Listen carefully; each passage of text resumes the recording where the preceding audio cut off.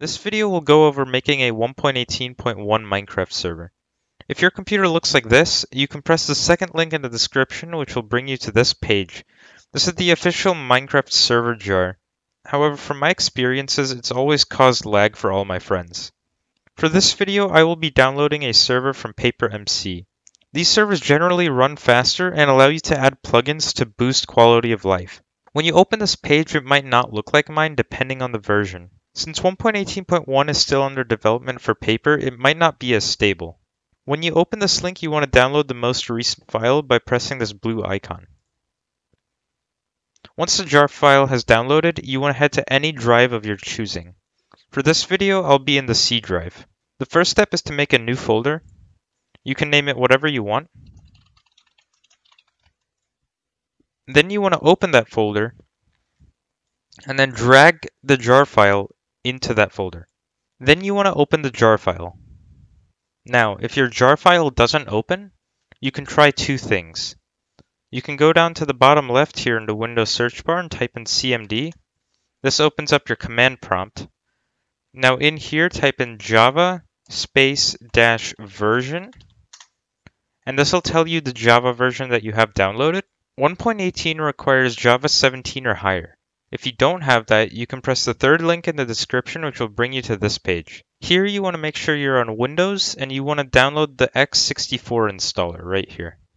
Now once you downloaded that and go back and try to open paper.jar and it still doesn't open, then you want to press the fourth link in the description which will bring you to this page. Jarfix is used to open up jar files that won't open up.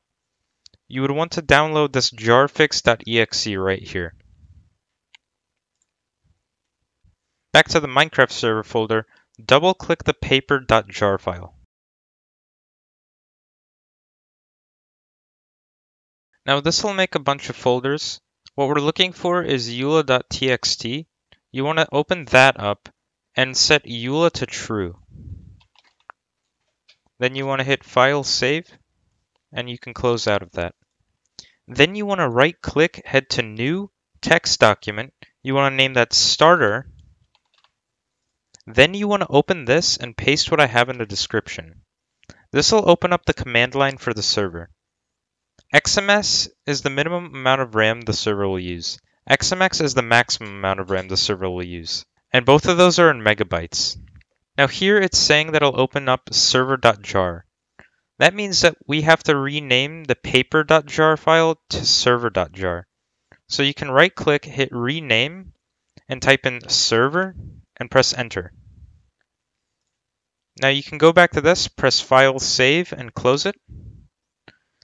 Then go to your starter.txt, right click it, press rename, and delete txt and replace it with bat. Then you press enter and then you can press yes. Then you double click starter.bat and this will open up your server.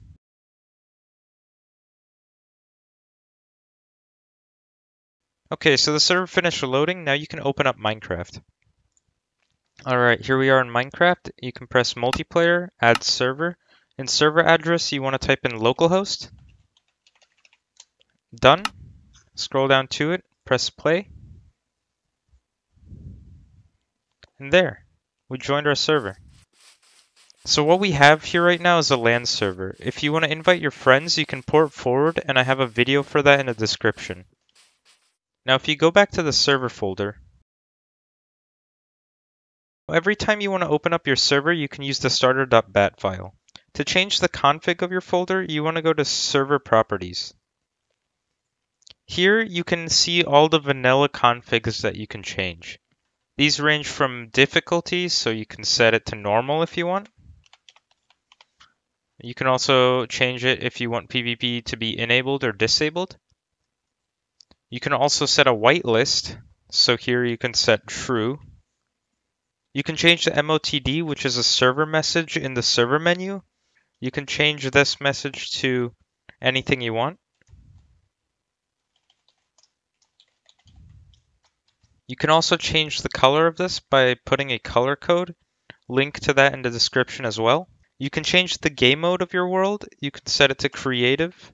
You can set if the world is set in hardcore mode or not. So here, once we're done with this, you can click File, Save, and then we can open up the server.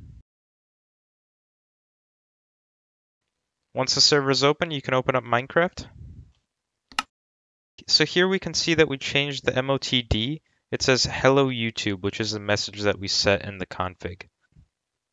If we go to direct connect and type in localhost, now when we press join server, it says you're not whitelisted on this server.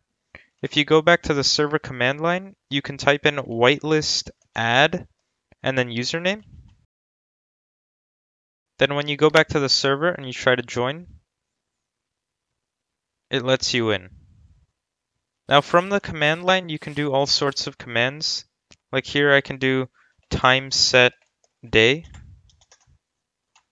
And if I go to the server, the time is day now. So we set the server to normal in the server config. We can check that in options online. Here it says server difficulty is easy, which is a bug. We can fix that by going over to the command line and typing in difficulty normal. And then if we go back, options online, you could see the difficulty is now normal. If you go back to the server folder, when making backups, you want to copy these world files right here. That's in case the world ever crashes or gets corrupt, then you can replace that with these world files. Just make sure you rename them to exactly what's listed here. When changing data packs, that'll be in a world and data packs. You can put all the data packs you want in this folder.